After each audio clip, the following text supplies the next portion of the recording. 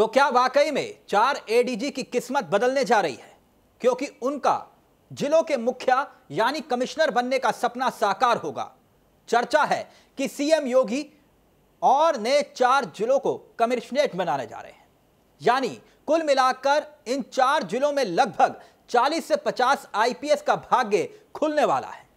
चार जिलों में कमिश्नरेट का आदेश चंद ही घंटों में जारी भी हो सकता है। खबर यही है। सूत्र बता रहे हैं। वो चार ज़िले कौन से हैं जिसे सीएम चार जिलों को कमिश्नरेट बनाने जा रहे हैं?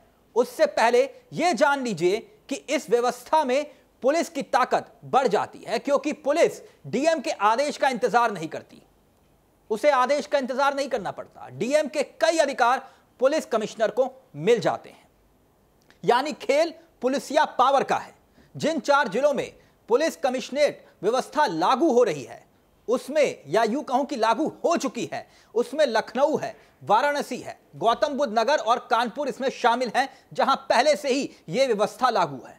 और अब जहाँ पर यह व्यवस्था लागू होने वाली है, जिसको लेकर चर्चाएँ हैं और खबरें इस वक्त तैर रही हैं, उसमें सबसे बड़ा जिला गाजियाबाद है, मेरठ है, आगरा है और प्रयागराज है।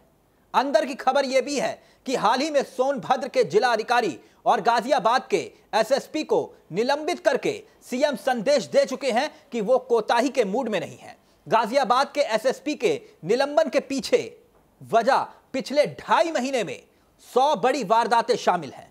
सौ बड़ी वारदातें हुई, जिसके बाद यह एक्शन हुआ। एसएसपी पवन कुमार ने अगस्त 2021 में पद संभाला था और 31 मार्च को उन्हें सस्पेंड कर दिया गया। जिसके बाद कुछ समय तक गाजियाबाद की कमान मेरठ के आईजी प्रवीण कुमार ने संभाली। इसके बाद आईपीएस एम मुनराज को अस्थायी तौर पर गाजियाबाद ज़िले का एसएसपी बनाया गया है।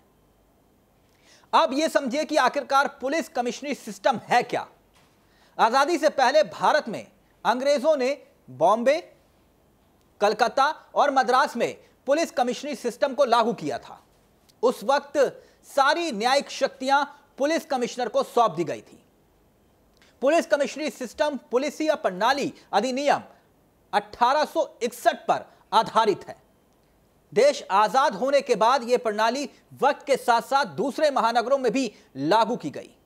यही वजह है कि अब भारत के कई महानगरों में यह प्रणाली लागू है। इस व्यवस्था में पुलिस को डीएम के आदेश का इंतज़ार नहीं करना पड़ता। क्योंकि डीएम के कई अधिकार पुलिस कमिश्नर को सौंप दिए जाते हैं, मिल जाते हैं।